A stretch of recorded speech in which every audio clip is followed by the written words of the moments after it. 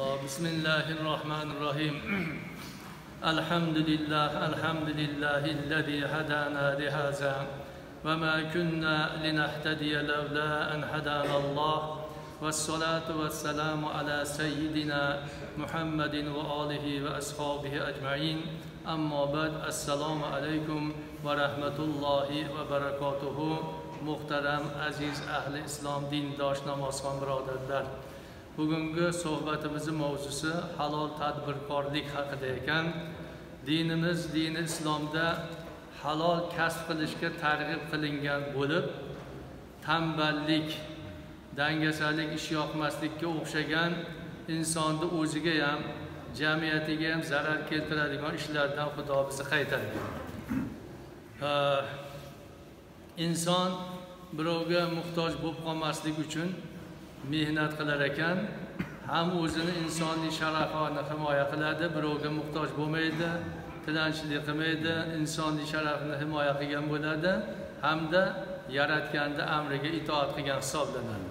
Xudoy taolo ahli oilangni haloldan pul topib boqqin deyapti. Ana shu buyrug'iga bo'ysungan bo'ladi. Zeroki alloh taolo qur'oni karimda mulk surasini 15 oyatida marhamat qilib aytadiki astag'izbillah huvallazi ja'ala lakumul arda zalulan famshu fi manakibiha va kulu min rizqihi va ilayhin nushur deyapti. Ya'ni Alloh sizlarga yerni hokisor ya'ni yerni bo'ysunuvchi qilib qo'ygan zotdir deyapti. Bas yerda har tomonida yuraveringlar ya'ni yerda har tomonida degani sayohat niyatida yurasizmi tijorat niyatida yurasizmi dehqonchilik qilib yurasizmi yuraveringlar. Ish qilib haloldan pul topsalaring bo'ldi. Va Allohni bergan rizqidan tanovul qilinglar. Qiyomat kuni tirilib chiqish uni huzuriga. Ya'ni hamma qiyomat kuni qayta tirilib xudoni huzurida to'planamiz deyapti. To'planadi deyapti xudo. Mana shunga ko'ra mana alloh taolo bizga yer yuzini maskan qilib berdi. Yashamoq hayot kechirmoq uchun va bu joyda bizni e, yashamog'imiz uchun hamma sharoitni muhayyo qildi. Mana masalan yerni olsak turpoqni e, asosiy rizqimiz shu yerdan bug'doy bo'ladimi sholi bo'ladimi arpa bo'ladimi makka bo'ladimi guruch bo'ladimi nima bo'lsa mana shu yerdan unib chiqadi. Undan tashqari yer yuzida xohlagan shahrimizga borib birov dubayga birov turkiyaga birov xitoyga borib tiriklik qilyapti to'g'rimi? Sayohatga chiqyapmiz ba'zan. Xudo bizga hamma sharoitni yaratdi. Shu bitta yer kurrasi fazoda uchib yuradigan katta jism yer ana shu yerda bizga xudo maskan qilib berdi. Halol halol rizq yo'lida qilinadigan sa'y harakatlar uchun juda dinimizda katta savoblar va'da qilingan. Hatto bu narsa farz darajasiga ko'tarildi. Qarang bu masalada imomi bayhaqiy o'zlarini kitoblarida abdulloh ibn masud roziyallohu anhudan u kishi payg'ambarimizdan bir hadisni keltirganlar. Janobimiz aytadilarki talabu e, talabi kasbil halol faridatun ba'dal faridati halol kasb qilish haloldan pul topib oilani boqishlik farzdan keyingi farzdir deyaptilar. Ha? Farzdan keyingi farzdir. Endi farzdan keyingi farz degani farzi ayin bor. Farz bor. Farzi ayin bilan farzi farqi farzi ayin degani hech qanaqa uzr qabul qilinmaydigan farz. Masalan besh vaqt namoz. To'g'rimi? Sog'lom odam ro'zani tutish boy odam kechiktirmay zakotni berish shu islomdagi iymon keltirish. Qodir bo'ldimi darrov hajga borish ham farzi ayin bo'ladi. Ana shunaqa muhim farzlardan keyingi bu ham farz deyapti. Hop imomi azam abu hanifa rahmatullohi alayhni shogirdlaridan eng kattalari ulug'lari imomi muhammad shayboniy aytgan ekanlarki ilm talab qilishlik qanaqangi farz bo'lsa halol kasb qilish ham xuddi shunaqa farz degan ekan. Haqiqatda talabul ilmi faridatun ala kulli muslimin va muslimatin degan hadis bor. Talabi ilm qilishlik har bir musulmon erkagu ayolga farz deganlar. Bu degani hamma masalan bizni darajamizdagi olim bo'lishi shart emas. Battaga ilm talab qilish har bir musulmon erkakka degani hech bo'lmaganda ibodat ilmlarida namozda nechta farz bor. Nima amal namozni buzib qo'yishi mumkin ha? qanday qilsa namoz mukammal bo'ladi. Tahoratdagi farzlar. Islomda beshta farz bor iymonda yettita farz bor. Mana shu asosiy e'tiqod ilmlarini bilish. Tahoratda to'rtta tayammumda to'rtta g'usulda uchta ikkitasi amri ma'ruf nahiy munkar. Ana qirqinchisi ilm talab qilishlik. Xuddi shunga o'xshagan oilani haloldan pul topib boqish ham shunaqa farzlardan ekan. Ho'p mo'min odam halol rizq topish harakatida bo'lganda ollohni amriga muvofiq amal qilishi bilan birga payg'ambar alayhissalomni ko'rsatmalariga ham amal qilayotgan kishi bo'ladi bu odam. Zero payg'ambar alayhissalotu vassalom ibn mojja miqtod ibn asvad roziyallohu anhudan rivoyat qilgan hadislarida janobimiz aytgan ekanlarki ma akala ahadun ta'aman qattun hayron e, min an yakuda min amali yadi. Inson o'z qo'l mehnati bilan topganidan ko'ra yaxshiroq pokizaroq taom yemaydi. Taomlarni eng yaxshisi pokizasi peshana teri bilan topgani deyaptilar. Bizni islom dinida qo'l mehnati qadrlanadi. Masalan texnika qiladigan xizmatlar bor. Masalan paypoq to'qiydigan gazlama knopkani bossangiz ishlayveradi bu qo'l mehnatida odam obtovda tig'ida yurish kerak. Jismoniy quvvatini sarflash kerak. Chanqoq bor ochqoq bor chang to'zon. Ana shunaqa qiyin ishlarni qilib eli xalqni dasturxoniga bug'doy unlarni yetkazib beryapti. Guruchlarni yetkazib moshmidi sholimidi? Mana shunaqa temirchilikmidi qo'l mehnati bilan qilingan ishlar ulug'lanadi bizda. Savobi ko'proq bo'ladi. Mana dovud alayhissalom ham podshoh ham payg'ambar bo'lganlar sulaymon alayhissalomni otalari o'sha kishi tuslarini o'zgartirib ustuvoshlarini o'zgartirib bozorda aylanib xohlagan odamlarni to'xtatib turib fikrini bilar ekan so'rab dovud haqida qanday fikrdasan desa desalar ye dovud zo'r odam yaxshi odam yaxshi boshqaryapti desa xudoga shukur yaxshi boshqaryapman ekan deb xursand bo'lar ekanlar bir kuni odatga ko'ra odamlar ichida yurdilar bir kishini to'xtatdilar. E, dovud haqida nima deysan unda dovud yaxshi odamu bitta lekini bor degan. Yuraklari habrib ketgan ekan. Nima bu kamchiligim bu? Nima lekini nima desa lekini shuki peshana terib qilib oila boqmaydi xazinadan oila oladi davlat xazinasidan baytul moldan tirikchiligi shundan. Agar peshana teri bilan bola chaqasini boqqanda bundan ham yaxshi bo'lardi deb ketibdi. U jabroil alayhissalom bo'lganda inson suratida kelganda tanimaganda keyin uch kun mehroblariga kirib yig'lab e, ibodat qilib xudoga yolinib yolvorganlar. Mana shunaqa gap eshitdim tanqid eshitdim. Parvardigor manga bir hunarni ilhom qilgin shuni qilib peshana teribni oilamni boqay deganda yana inson suratida jabroil alayhissalom kelib temirchilikni o'rgatgan ekan. Sovut asosan sovut yasadilar askar kiysa o'qdan himoya qiladigan shuni rosa ustasi bo'lib ketgan ekan. Rivoyatlarda kelishicha novvoy xamirni qanaqangi qo'lida ushlab aylantirsa u kishi ham temirni qo'llari bilan xohlagan shaklga keltiraverar ekanlar piri bo'lganlar temirchilar pirimiz deydiyu piri endi ustoz eng asos solgan boshliq ana shu. E, shu kishi keyin umrlarini oxirigacha e, sovut sotib puliga bola chaqaga oziq ovqat olib shunaqa qilib boqqan ekan. Bo'lmasam bir mamlakatni podshohi bo'lganlar ham payg'ambar ikkita martaba.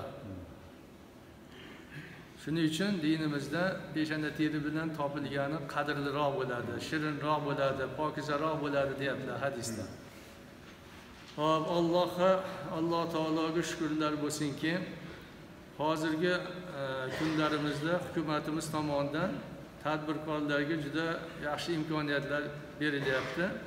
Mana shunday imkoniyatlardan unumli foydalanib halol rizq talabida bo'ladigan bo'lsak o'zimiz va boshqalarni ham yaxshi hayot kechirishlariga sababchi bo'lib qolar ekanmiz.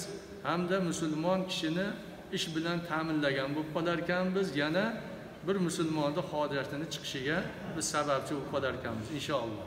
Chunki musulmon birodarini e, qalbiga xursandchilik kirgizishlik bizni dinimizda juda afzal amal suyukli amal hisoblanadi. Imomi tabaroniy ibn umar roziyallohu anhudan rivoyat qilgan hadislarida payg'ambar alayhissalom shunday degan ekanlar. Ahabbun nasi ilallohi anfahum linnas. Odamlarni ichida ha, e, alloh taologa eng suyuklisi boshqa odamlarga manfaat tegadigani foyda keltiradigani va ahabbul amol ilallohi azza va jalla sururan e, sururun tudxiluhu ala muslimin. Endi odamlarni ichida xudoga suyuklisi manfaat yetkazadigani bo'lsa amallarni ichida xudoga eng suyuklisi nima ekan? Bir musulmonni qalbiga xursandchilik kiritish ekan. Qanday qilib? Takshifu anhu kurbatan. Masalan bir odamni boshida tashvish bor edi boshqa musulmon do'sti yordam berib tashvishini ketkazdi. Mana bu juda zo'r amal ekan. Xudo yaxshi ko'rar ekan. Mana bu ibodatdagi e, namoz ro'za zakot ibodatlaridagi manfaat o'zimizga bo'ladida bu. O'zimizga. Batta boshqaga manfaat yetkazilyapti. Shuning uchun ulug'lanyapti. Masalan bir odam ruhi singan cho'kkan boshida bir g'am tashvish bor. Hech bir e, chehrasi ochilmay birovga dardini aytolmay shu qiynalib yurganda nima bo'ldi? Og'ayni shunaqa bo'lib qoldi shunaqa. E bo'ldi man mana shunga kuchim yetadi yordam beraman deb haliginga yordam berib ko'ngliga xursandchilik kiritish juda afzal suyukli amal ekan. Xudo uchun hop endi yana qarzi bo'lsa qarzini usib qalbiga xursandchilik kiritish mumkin yoki qorni och odamni qornini to'yg'izib qo'yish ham manfaat yetkazish o'sha odamga. Shuni xudo yaxshi ko'rar ekan. Yana aytdilarki payg'ambarimiz valain amshi maa ahin hojatin ahabbu ilayya min an i'takafa fi hadal masjid ya'ni masjidil madinati madinati shahron. Man bironta birodarimni hojati bilan yelib yugurib yurishligim deyapti. Payg'ambarimiz o'zlarini aytyaptilar bir do'stimni birodarimni hojatini chiqaraman deb yelib yugurib yurishligim madina munavvaradagi masjidi nabiyda bir oy e'tikof o'tirganimdan yaxshiroqdir deganlar bir oy chilla o'tirganimdan hech kim bilan gaplashmasdan ko'chaga chiqmasdan faqat namoz qur'on namoz qur'on o'qib bu juda katta savobli ish sufiylar qo'lidan keladi. mana shunaqa qilib bir oy uzlatda o'tirishimdan ko'ra man bitta do'stimni o'rtog'imni birodarimni hojatini yengillatganim yaxshiroq deyaptilar yana qayerda uncha muncha masjidi nabiyda madinadagi masjidda ومن ومن كذب غيظه ولو شاء أن يمزيه أمضاه hop kim o'ch olishga qodir bo'lib turib birovda alami bor. Shunda endi buni navbati keldi. U susayib bu kuchayib qoldi. Ana shunaqa holat. Shuna qodir bo'lib turib g'azabini yutsa o'ch olmasa degan. Olloh uni qalbini qiyomat kunida o'zini roziligi bilan to'ldirar ekan endi bu juda katta matonatda bir odam rosa xo'rlagan bir kishini. Yillar davomida nima qilsa qilgan endi u buni holiga tushdi bu uni holiga o'tib qoldi. Endi qasos olishga taqirlashga urushga so'kishga huquqi bor yetadi. Lekin shu qilgan rasvo ishni man qilmayin deb g'azabini ichiga yutib olsa u judayam pahlavon odam bo'ladi. Pahlavon deb kurashda yiqitadigan emas nafsini tiyib olib g'azabini yutib oladigan odamni atar hop kim birodarni hojati bilan yurib o'sha hojatini ravo etsa olloh qadamlar toyadigan kunda uni qadamlarini sobit qadam qilib qo'yadi. Qadamlar toyadigan kun qiyomat. Hammamiz sirot ko'prikdan bitta bitta o'tamiz. Ana shu yerda suyg'onib ketmaydigan qilib berar ekan do'zaxga tagi do'zaxda sirotni tagi do'zax. Kim yiqilsa to'g'ri do'zaxga tushib ketadi. Eson omon o'tib olgan odam yoqda jannat bor jannatga kiradi. O'shani aytyaptilarki kim bu dunyoda bir birodarni yurib yelib yugurib hojatini ravo qilsa olloh o'sha odamni qadamini qadamlar toyadigan kunda mahkamlab ko'prikka sirotga yopishtirib qo'yadi. U tushib ketmaydi deyaptilar. Demak namoz ro'zadan tashqari ishlarimiz ham bor ekanda qiladigan faqat o'zimizni e, o'ylamasdan aka uka apa singil qarindosh urug' undan orsa qo'ni qo'shni mana bitta safda namoz o'qiyapmiz har juma ko'rishib turibmiz birontamizda bir tashvish bo'lsa e, qo'limizdan kelsa yordam bersak xudoy taolo qiyomatda oyog'imizni sirot ko'prigiga mahkamlab qo'yar ekan siyg'onib pastga tushib ketmas ekanmiz. Hop imomi tabaroniy rivoyatlari.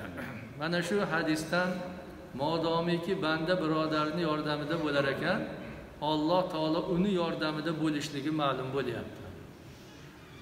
Hop. Shuni unutmasligimiz kerak ekanki molu davlat berilgan odamlarning mollarida kambag'allarni haqqi bor. Yuz minglab dollari bor odamlar bor. Boy deydi buni. Shularda ana shu dunyolarda to'plagan dunyolarda miskinlarni haqqi bor deyapti. Masalan zakot fitr ro'zalar to'g'rimi? Yo anaqa e, moddiy tarafdan qiynalib qolganda to'y ma'raka qilganda qo'llab yuborish mana shular haq e, shuni aytyapti. O'sha haqlarni ado qilsalar ularga jannatga kirishliklari va'da qilingan. Shunday ekan muhtoj odamlar ularni oldiga takror takror borishlaridan malollanmasinlar deyapti. Ya hadeb kelaverasanmi pul so'rab demasinlar. Zero olloh azza va jalla boshqa musulmonlarni hojatlari bilan mashg'ul bo'lishlari uchun ularga ne'mat ato qildi. Mana odam ato yaratilgan vaqtlarida e, olami arvohni yaratdi. Bizni hammamizni yaratgan ruhlarimizni. O'sha yerda al misoq oldi alastu birobbikum man sizlarni parvardigorlaring emasmiman deb savol bergan bizga. Biz uni endi eslatmaymiz xolos. Lekin bo'lgan bu. Qolu balo hammalarimiz albatta bizni parvardigorimizsan biz sani quling biz aytganingizni qilamiz deb va'dalashganmiz al misoq degan va'dalashuv kelishuv shartnoma. Ana shundan keyin odam atoni bir baland tepalikka chiqardida mana shular sani qiyomatgacha o'tadigan zurriyotlaring ko'rib qo'y dedi dek qilib qarasalar baquvvatlari bor nimjonlari bor cho'loqlari bor mayiblari bor. Semizi bor arrig'i bor qorasi bor oqi bor. Hamma har xil. Keyin hayron bo'lib parvardigor hammasini bir xil baquvvat kuchli qilib yaratsang bo'lmasmidi? Yo hammasini boy badavlat qilsang qudrating yetadiku. Ba'zilarini kambag'al ba'zini boy qilib qo'yibsan. Sen buni hikmati dedi imtihon qilish uchun shunaqa qildim mana bu sog'lom odamlar mana bu majruh odamga qarab turib manga shukur qilsin.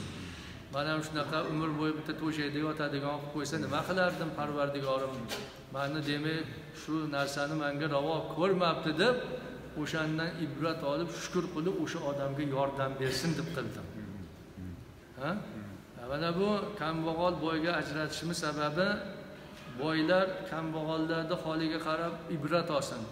Yaxshiyam mani boy qilsam bo'lmasam shularga o'xshab ko'chama ko'cha qop ko'tarib tilanchilik qilib yurgan bo'lardim.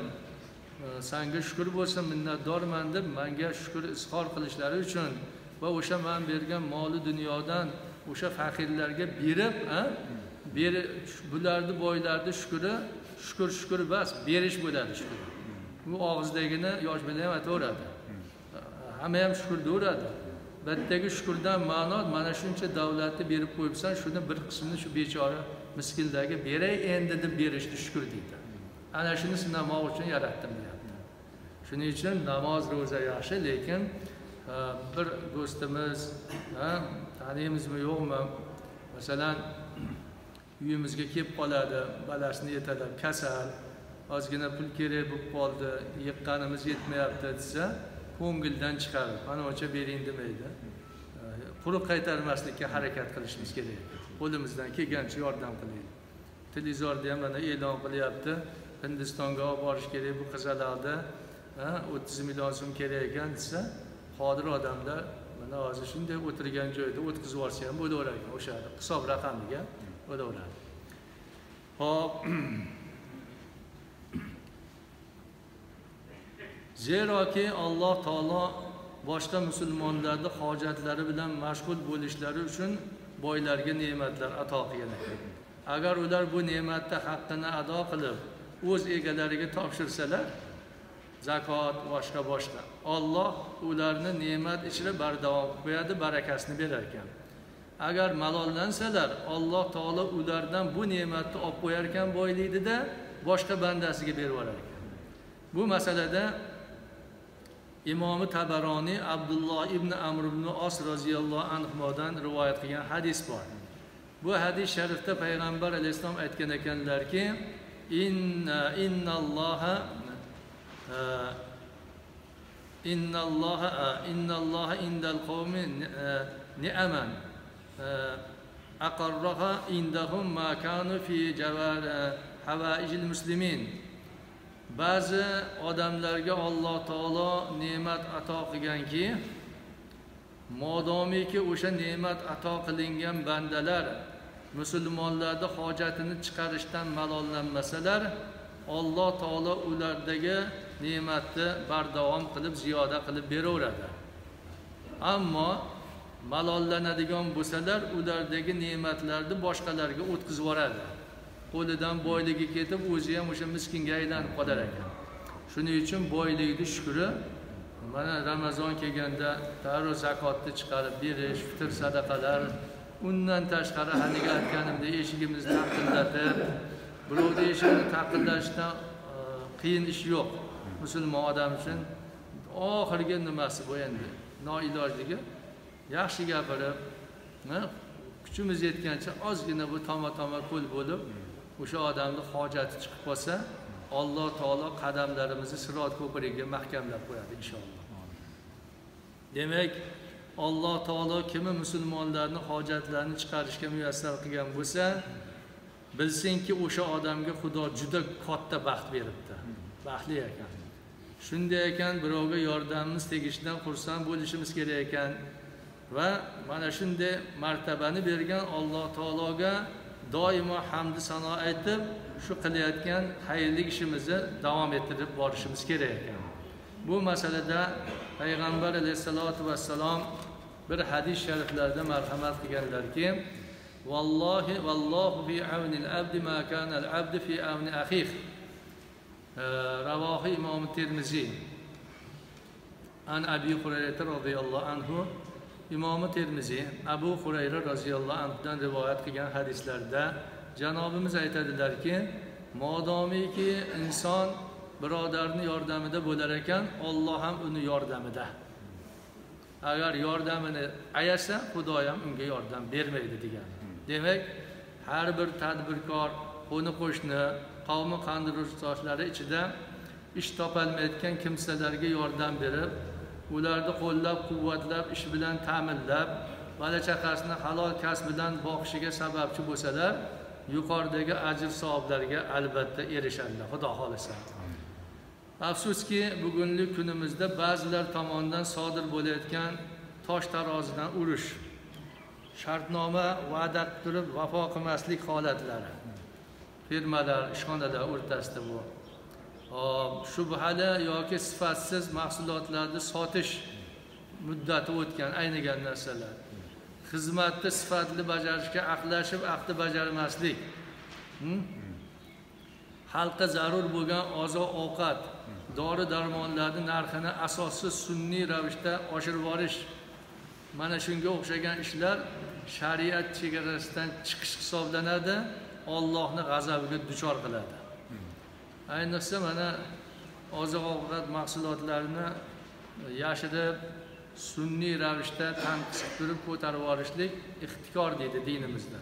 Juda xunuk gunoh. Payg'ambarimiz juda bular haqida qattiq gap aytganlar. Bu yomon. Kundalik iste'mol mollar bo'ladiyu shakar yog' un ah, keyin o'sha monopoliya degan gap bor bitta puli ko'p odam qo'qonga kelganini vagon pagoni bilan sotib oladi. Boshqa savdogarlar ololmaydi endi bitta o'ziniki bo'lib oldimi baribir xohlagan puliga sotadi. Agar raqobat bo'lsa hammada bo'lsa narx arzonlashadi. Shu monopoliya degan narsa bo'lsa ko'tarilish boshlanadi. Nafsini gapiga kirib kilosi yuz so'mlik unda ikki yuz so'mdan sotaveradi keyin. Yomon oqibatga olib xalqni qiynab qo'yadi. Ana shuni dinimiz qoralaydi harom deydi. Vaholanki alloh taolo saxovatlik mard va boshqalarga foydasi tegadigan odamlarni yaxshi ko'rar ekan. Inson xalqqa foyda keltirolmayotgan bo'lsa hech bo'lmasa zarari yetmay turishligi ham katta yordam ekan. Mana shuni o'zi ham taqvo bo'lar ekan. Birovga yomonlik qilmaslik ham taqvo. Taqvo qo'rqish. Ollohdan qo'rqishni taqvo deydi. Demak bir odam yomonlik qilish qo'lidan kelib turib yomonlik qilmay o'zini tiyib turibdimi shu ham taqvo ekan hop shuning uchun imomi muhammad e, rahmatulloh alayhga odamlar iltimos qilib taqvo haqida alohida bitta kitob yozsangiz bir o'qisak desa u kishi aytgan ekanlarki ana savdo sotiq haqida kitob yozib qo'yganmanku o'shani o'qinglar degan ekanlar. Savdo sotiqda taqvo bilan taqvosizlik shu yerda bilinib qoladida. To'g'rimi? A namozni ko'p o'qiydigan odam ham bozorda boshqacha bo'lib qolishi mumkin. Pulni tepasida andishani yo'qotib qo'yishi mumkin. Ko'ryapmiz bilyapmiz.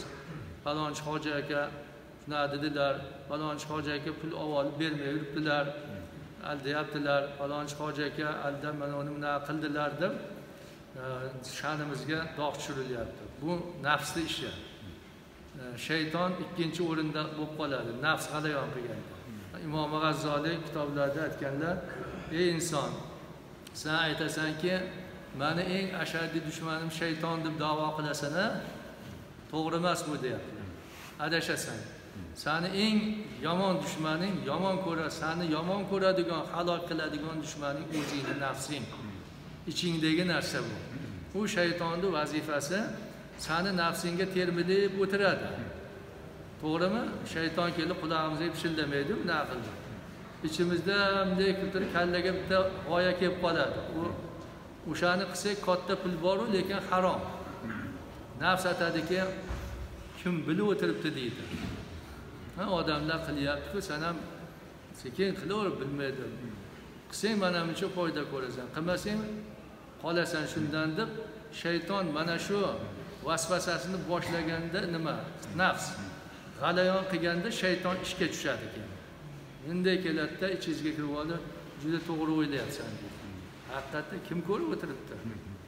Undan olib unga bunchaga sotib olaverasan deydi shunaqa qilib gunoh qildiradi. Shuning uchun nafsimizdan ehtiyot bo'lishimiz kerak ekan. Savdo sotiq tepasida ko'p xato ishlar bo'ladi mol bozorini misol qilib olsak yonimizda yolg'on ko'pda. O'zini o'g'lini yetimcha deydi. Ota mana shu yetimchani molini oling qo'yini yetimcha ekan deydi. O'zi hayot u o'zini o'rniga chiqaryapti. Yetim deb otasi o'lgan odamni aytadi shunaqa qilib pul topish yaxshimi? Yo kelishib olib mol sotadigan bilan dallol bitta juvosh sodda odam umrida mol bo'lsa uni tushirsa hmm. Bu ham bo'lmaydi noto'g'ri. Boshqa sohada ham shunaqa ishlar bor. Aldov siyg'ontirish tovlamachilik e, xudo o'zi saqlasin. Bir birda qattiq non bo'lsa ham haloldan topib yeganingizga yetmaydi. Eng shirin ovqat o'sha. Eng foydaligi o'sha. Qiyomatda ham shu kerak bo'ladi. Hop ulamolarimiz tirikchilik uchun kasbi kor qilish orqali mol topishda bitta nechta darajaga bo'lganlar darajalarga birinchisi farz darajasi bo'ladi pul topish. Bu insonni o'zi va oilasini zaruriy ehtiyojlarini qondirish hamda qarzlarni uzishga yetadigan miqdordagi mablag' pul topishni farz degan shariatimiz farz. Bola chaqangizni birovga muhtoj qilmasdan o'zingiz eplab boqish darajasida pul topish bo'yningizda bir ikki million qarz bo'lsa o'shani uzib qo'yish niyatida pul topish bu farz ekan. Ikkinchisi mustahab darajasi bo'lib haloldan kasb qilib pul topish mustahab darajasi bo'lib bu o'zini ehtiyojidan tashqari faqir kambag'allarga ham yordam berish niyatida do'sti yor yaqinlariga muruvvat ko'rsatish maqsadida mol dunyo orttirishga harakat qilish mustahab ekan. Haligi o'ziga yarashasi farz edi. Endi ishi yurib ketib yaxshi ketyapti ishim pulni ko'paytiraveray beva beshoralarga beraman yordam qilaman deb pulni ko'p topgan odamni va topib turib uni joyiga ishlatayotganda malomat qilmas ekanmiz. U o'zini farzini ado qilib yana mustahab qo'shimcha savobli ishni ham qilyapti. Bu yaxshi. Hop. Boshqalarga yordami tegadigan insonni payg'ambar alayhissalom maqtagan ekanlar.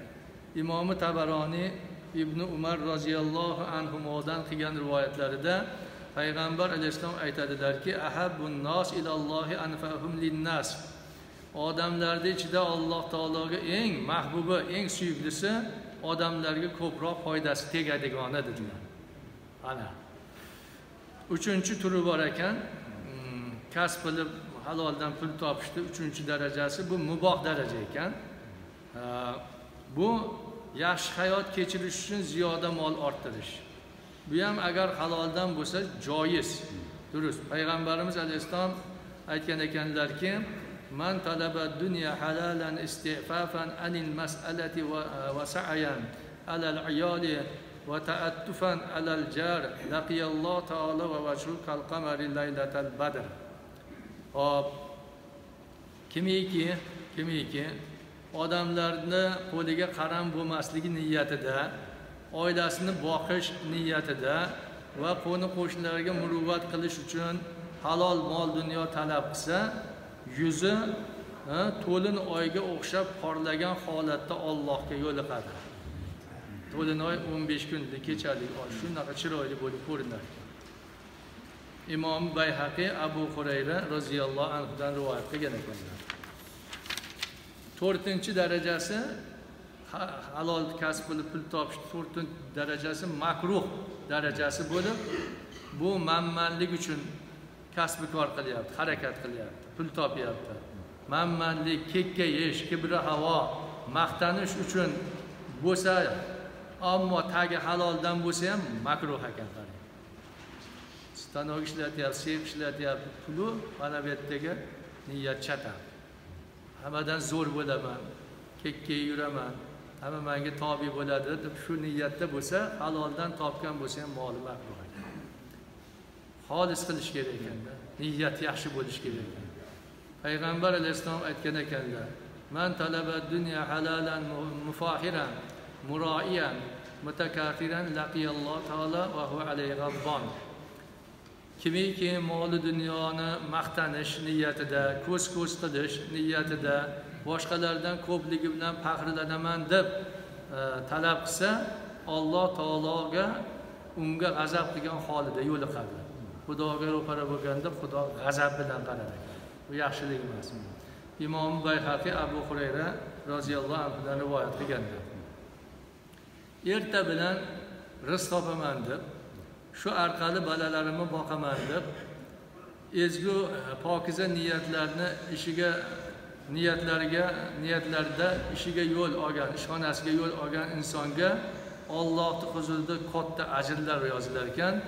Shuning uchun payg'ambar alayhissalom bir hadis shariflarda man bata kallan min talabil halal bata mafuran.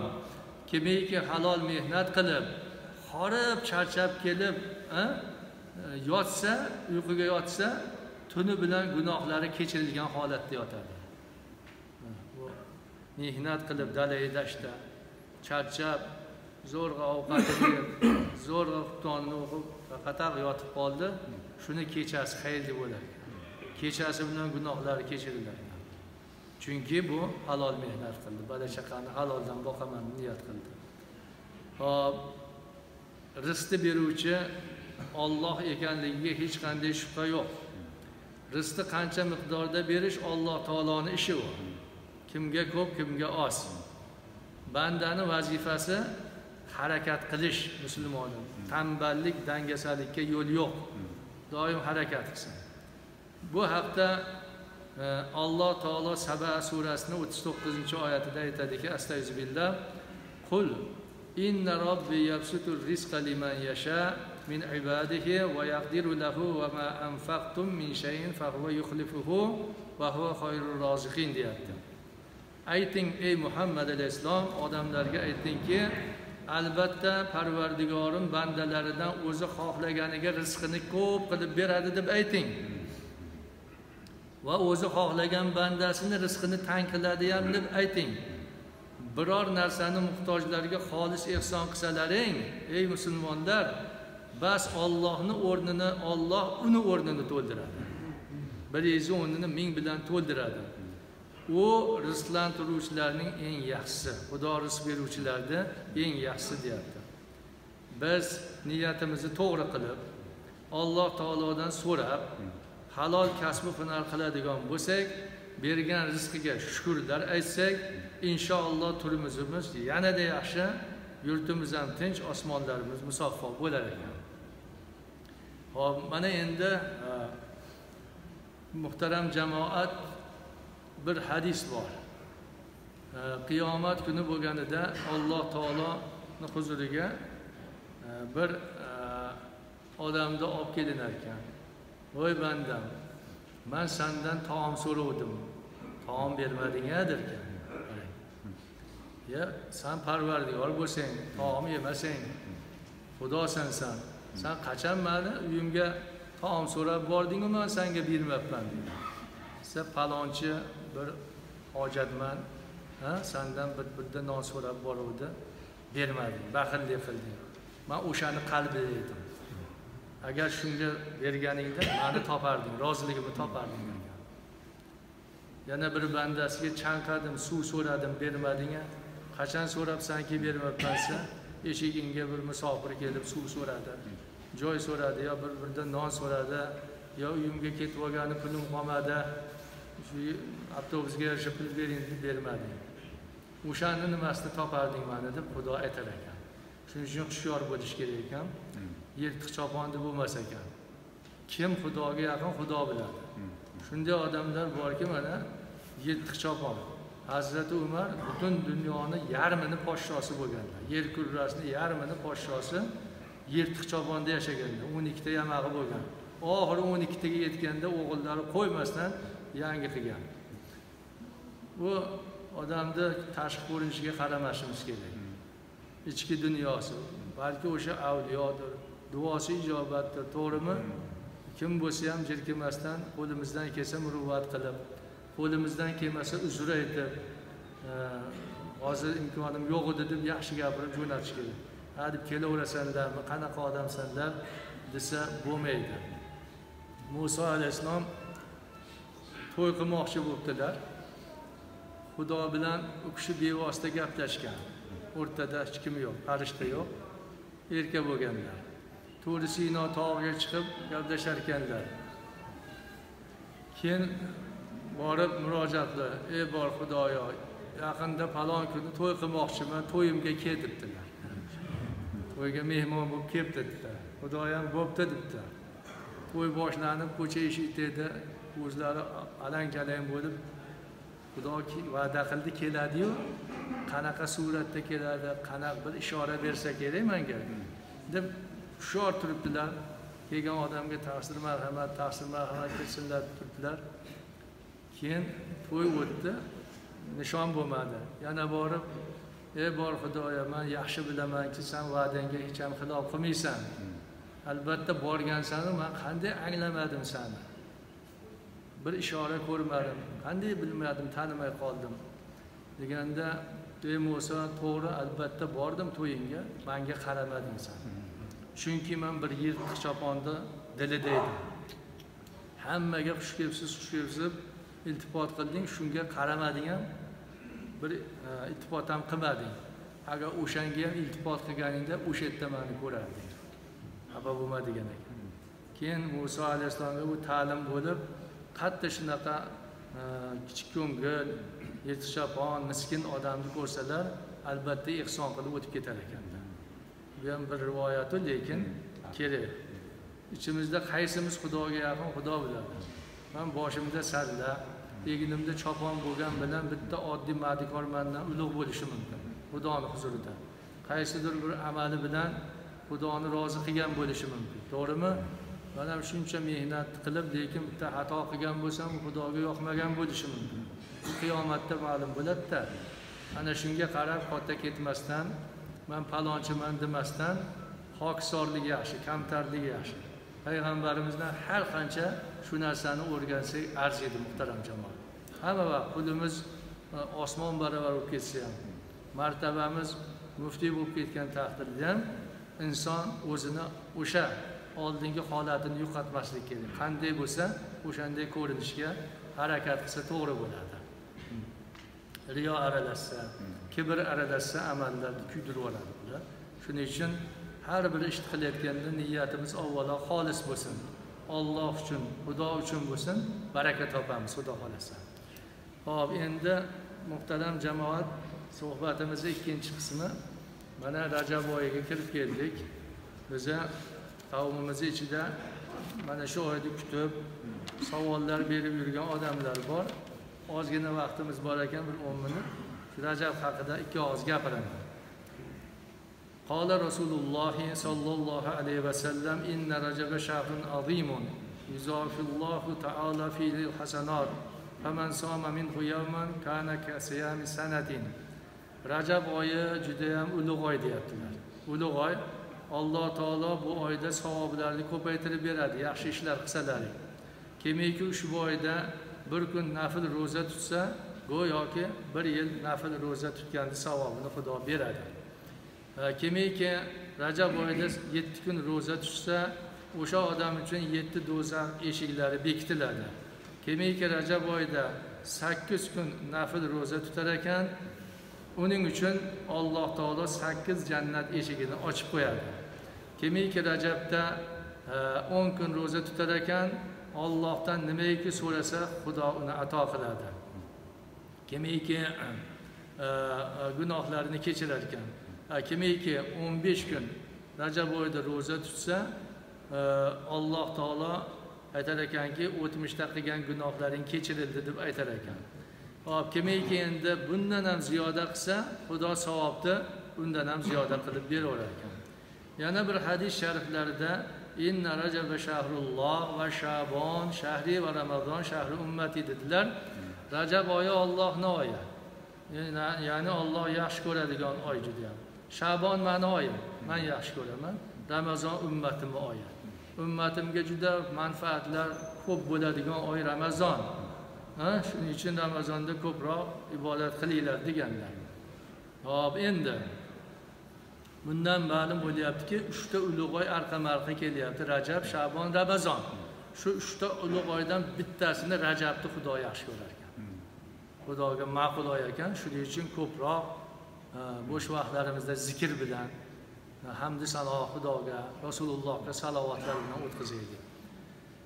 Yana abu bakr siddiq roziyallohu anhudan rivoyat qilinadiki rajab oyini birinchi jumasida kechasini ikki qismi o'tib oxiri qoldi. Bomdodga yaqin vaqt qolganda hop tamomiy yeru osmon farishtalari kabatullohni atrofiga jamlanishar ekan. Shunda xudo ularga rahmat nazari bilan qarar ekan. Keyin aytar ekanki e, ey farishtalarim nima istaklaring bor xohishlaring mandan so'ranglar der ekan shunda farishtalar e, robbana hajatuna an liman soma rajab parvardigoro ehtiyojimiz hojatimiz so'raydiganimiz rajab oyida bir kun bo'lsa ham ro'za tutgan bandangni gunohini kechdir ekan. Shunda xudoy taolo g'afartullohim derkan kechdim derkan. Ana kim imkon bo'lsa sog'lig'i ko'tarsa bu nafl vojib emas farz emas ixtiyoriy ro'za hech bo'lmasa bir kun ro'za tutib qo'yinglar yaxshi bo'ladi. Ana hadisda o'tdi yetti kun tutsangiz yetti do'zax eshiklari sizga bekiladi deyapti. Sakkiz kuniga jannat eshigi ochiladi deyapti. Albatta unga iymon keltirib amal qilsak yomon bo'lmaydi. Yana bir hazrati oysha onamiz roziyallohu anhodan rivoyat qilingan hadisda payg'ambar alayhissalom aytyaptilarki qiyomat kunida hamma odamlar och holatida turadilar. Illo payg'ambarlar ularni yaqinlari va rajab shabon ramazonda ro'za tutganda och bo'lmaydilar. Ular to'q bo'ladilar chanqoq ham sezmaydilar degan ekan. Yana bir xabarda qiyomat kuni bo'lganda bir farishta nido qilar ekanki aynan rajabiyun. Rajabiylar qayerdasizlar ya'ni rajab oyida ro'za tutuvchi kechalari namoz o'quvchilar qayerdasizlar deb so'ralar ekan bir nur paydo bo'lar ekan haligi nurni orqasidan jabroil bilan mikoil alayhissalomlar ergashib ketar ekanlar va ularni orqasidan rajab oyida ro'za tutganlar ham ergashishar ekan. Sirot ko'prigidan chaqmoq chaqqandek o'tib ketishar ekan. Keyin shukronasiga sirotdan o'tib u tomonga darrov sajdaga yiqilishar ekan peshanalarni yerga qo'yishganda e, sababi eson omon sirotdan o'tqizding deb xudoga sajda qilishar ekan. Ana shunda e, xudo aytar ekanki boshlaringni sajdadan ko'taringlar. U dunyoda xo'p sajdani qildilaring. Nafl namozlarni ham o'qib ko'p sajda qilgansizlar sajda qiladigan makon batmas. Boshlaringni ko'taringlar. Mani yaxshi ko'rgan oyimda ibodat bilan ko'p ibodat bilan o'tkazdilaring endi jannatdagi o'rinlaringni olinglar deb marhamat qilinar ekan. Bir kuni savbon roziyallohu anhu aytyapti bu kishi savbon payg'ambarimiz xodimlaridan bittasi xizmatchilari. Aytyaptilarki